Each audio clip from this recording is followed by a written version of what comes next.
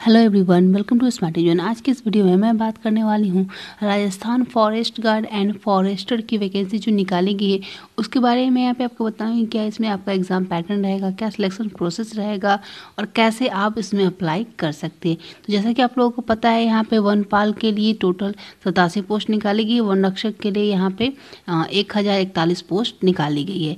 तो इसमें ऑनलाइन आपको अप्लाई करना है। अप्लाई करने का जो यहाँ पर कुछ इंपॉर्टेंट डेट्स है, वो आपको बताया गया है कि कब से कब तक आप अप्लाई कर सकते हो। उसके बाद यहाँ पे आपको बताया गया है कि अप्लाई करने के लिए आपको क्या करना है, इनकी ऑफिशियल वेबसाइट पे जाना है। ये इनकी ऑफिशियल वेबसाइट है। आपको एस एस आई से अप्लाई करना है। ऑल इंडिया से आप इसमें अप्लाई कर सकते हो। आपके पास एक एस एस होनी चाहिए। अगर आपके पास एस एस है तो डायरेक्टली आपको इस लिंक पर जाना है। यहाँ पर आप देख सकते हो, ये इनकी वेबसाइट इस पर आपको जाना है लॉगिन करना है और अप्लाई करना है।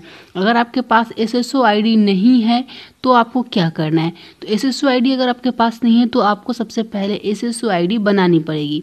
तो एस एस बनाने के लिए आपको इस वेबसाइट का जो है वो यूज़ करना है। कैसे आपको बनाना है? स्टेप बाय स्टेप मैंने इसके ऊपर एक वीडियो ऑलरेडी बना रखी है। आप आई बटन पर क्लिक करोगे, आप उस वीडियो को देख सकते हो कि किस तरीके से आप एस एस क्रिएट कर सकते हो। उसके बाद यहाँ पे बात कर लेते हैं एस एस के बाद आपको क्या करना है? एस एस बनाने के बाद आपको सिंपली इस वेबसाइट पे जाना है और यहाँ पे आपको अप्लाई कर लेना है लॉगिन करने के बाद। तो इसी तरीके से आप इसमें अप्लाई कर पाओगे। अब बात कर लेते हैं यहाँ पे इसका सिलेक्शन प्रोसेस क्या रहेगा और यहाँ पे इसका एग्ज़ाम पैटर्न क्या रहेगा।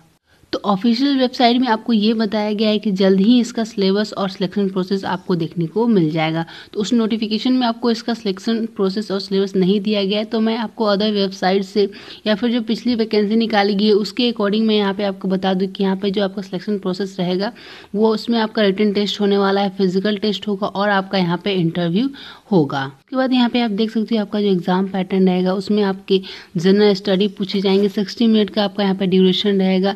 नंबर ऑफ़ क्वेश्चंस की बात करें तो फिफ्टी नंबर ऑफ़ क्वेश्चंस रहेंगे फिफ्टी मार्क्स के लिए। जनरल एप्टीट्यूड आपसे पूछे जाएँगे फिफ्टी क्वेश्चन रहेंगे फिफ्टी मार्क्स के लिए। यानी कि total number of question hundred रहेंगे हंड्रेड मार्क्स का यहाँ पे आपका एग्ज़ाम होने वाला है। आपका जो यहाँ पे फॉरेस्ट गार्ड का एग्ज़ाम होगा, वो ऑब्जेक्टिव टाइप का होगा मल्टीपल चॉइस के यहाँ पे क्वेश्चंस रहेंगे।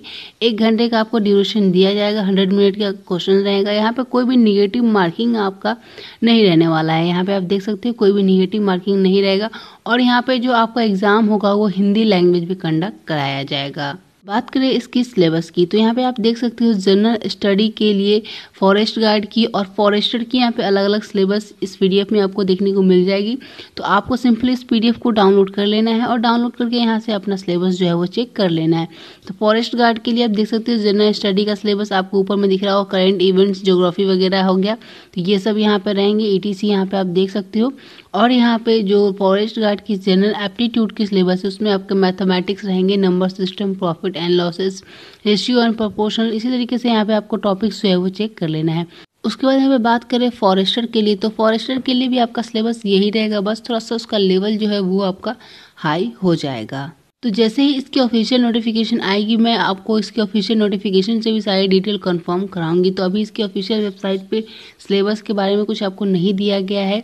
तो अगर आप इसमें अप्लाई कर रहे हो, आप चाहते हो कि अभी से आप इसमें प्रिपरेशन कर पाओ तो इसके बेसिस पे आप यहाँ पे अपना प्रिपरेशन जो है वो स्टार्ट कर सकते हो। और जैसे ही इसकी ऑफिशियल नोटिफिकेशन आएगी, उसके ऊपर भी मैं एक डिटेल वीडियो बना दूँगी।